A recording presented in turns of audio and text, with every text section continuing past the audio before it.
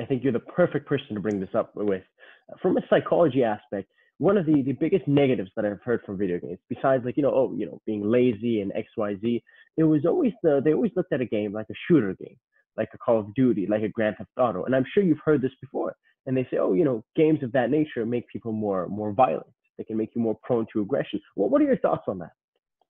So this will, this is purely my opinion, and mm, will be of course, of course, any, of course. Any researcher uh, is not backed up. yeah, all. yeah, no worries. No but worries, um, I think that claim um, is relatively false.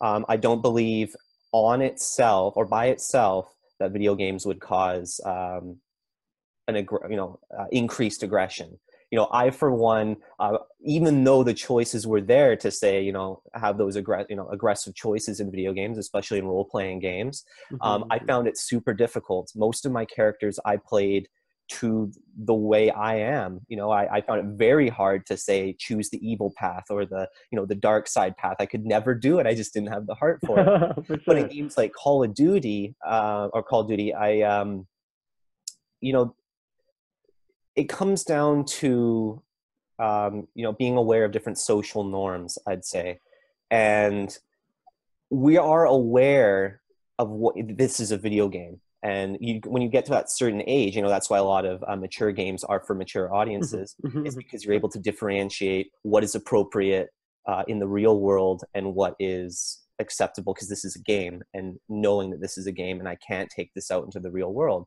You know, there were definitely games when I was growing up where uh, you know, you might, you know, grade five or whatever, you know, out on the field at lunchtime where we're running around, you know, karate chopping each other and somebody gets hurt and it's like, oh, maybe we shouldn't have been that aggressive. It's not like the game.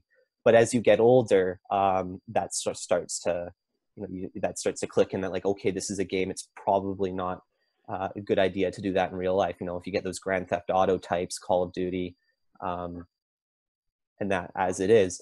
So, but one of the big questions, because I have looked at the topic, and one of the big uh, one of the big things around video games is are kids predisposed to aggressive tendencies more likely to play aggressive video games, or do they cause ag- or do they cause aggression? So that is kind of the big debate on this issue right now. Um, does A cause B? Does B cause A? Or is there that intervening variable that's out there that's uh, uh, it direct indirectly affecting both those outcomes? I'm really glad you brought that up, Brandon. I'm really glad you brought that up, my friend. You're right, because because it really is a you know uh, genetic predispositions definitely have a have a part to play. Yeah. Oh yeah. Oh, I mean, there's there's genetic predispositions. There's social and environmental mm-hmm. Uh, mm-hmm. upbringing all of that comes in that it's very very very difficult to conclude um, does video games you know are they specifically responsible for aggression in children adolescents into you know teenage years